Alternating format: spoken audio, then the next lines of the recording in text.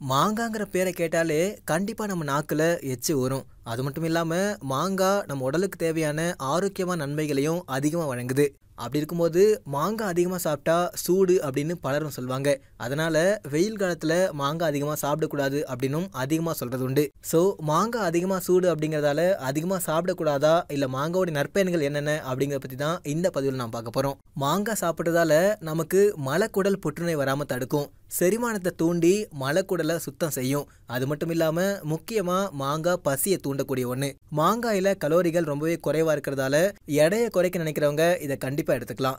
மாங்காயில் vitamin C சத்து இருக்கிறதால புதிய ரத்த அணுக்களுடைய உற்பத்திக்கு ரொம்பவே ஹெல்ப்ஃபுல்லாக இருக்குது அதோட மாம்பூவை நிழலில் உலர்த்தி எடுத்து பொடியாக்கி நீர் விட்டு கொதிக்க வச்சு குடிநீராக குடிச்சு வந்தோம் அப்படின்னா வயிற்றுப்போக்கு நீங்கும். அண்ட் அது மட்டும் இல்லாமல் கால் பித்த வெடிப்பு உள்ள பகுதிகளில் மாம் பிசின தடை வந்தோம் அப்படின்னா அந்த வெடிப்பு ரொம்ப சீக்கிரமாகவே குணமாகும். தினமும் மாங்காய் சாப்பிட்டா ரத்தத்தை சுத்தப்படுத்தி உங்கள் உடலை பலமாக்கும்.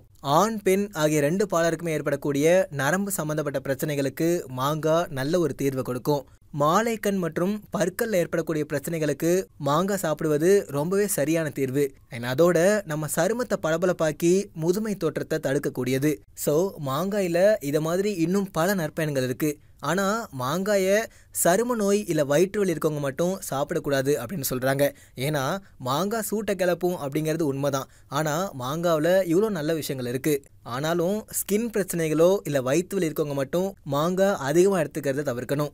இதை பற்றின உங்க கருத்துக்கள் என்ன அப்படிங்கிறத மறக்காம கமெண்ட்டில் போடுங்க. இந்த வீடியோ பிடிச்சிருந்தா லைக் அண்ட் ஷேர் பண்ணுங்கள்